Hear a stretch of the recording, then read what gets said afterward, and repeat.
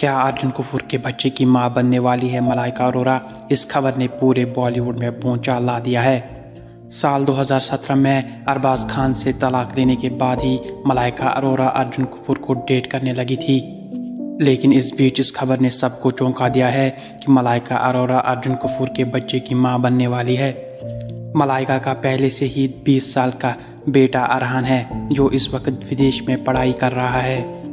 दरअसल एक media report में बताया गया है कि अर्जुन और मलाइका अपना पहला बेबी एक्सपेक्ट कर रहे हैं। रिपोर्ट में ये भी बताया गया है कि अक्टूबर में जब अर्जुन और मलाइका लंदन गए थे, तब मलाइका ने अपने करीबियों के साथ प्रेगनेंसी की खबर को शेयर किया था। खबर में ये भी कहा गया है कि ये बात लंदन से लीक हुई और अब उड़ते हुए भारत तक पहुँच गई। फ़िलहाल आप इस पर अपनी राय हमें कमेंट्स में दीजिए और ज़्यादा अपडेट्स के लिए बॉलीवुड टॉक टाइम को सब्सक्राइब कीजिए।